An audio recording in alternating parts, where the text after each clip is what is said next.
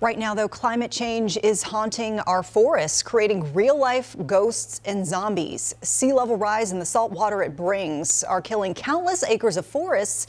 Meantime, our warming planet could also be driving another frightening phenomenon in the shadow of massive wildfires. National climate reporter Chase Cain shows us two haunting effects of climate change. Down a dirt road through a forest still very much alive Delaware Bay is haunted by death, a ghost forest. As the salt comes in, it poisons. It poisons things, it floods the soil and saturates it, and it kills these forests. As sea level rise accelerates, it brings salt water farther inland, creating fields of wooden tombstones, ghost forests.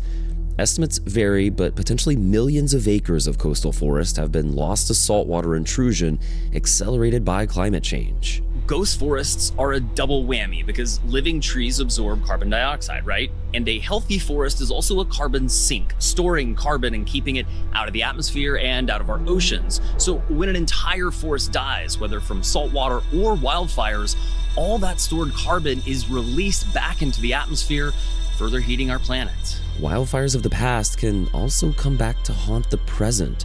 They're known as zombie fires. And they have this zombie behavior. They go underground in the fall and winter months, and they can carry over in terms of continuing to combust in the ground fuels, uh, sometimes right underneath the snowpack, right through the winter, and then they emerge like a zombie the following spring.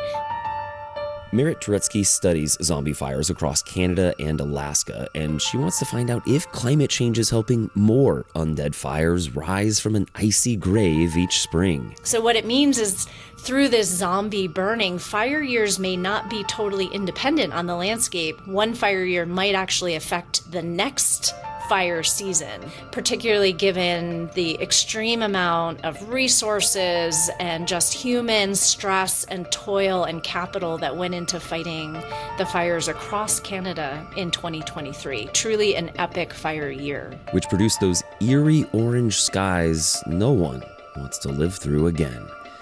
In New York, I'm National Climate Reporter Chase Cain.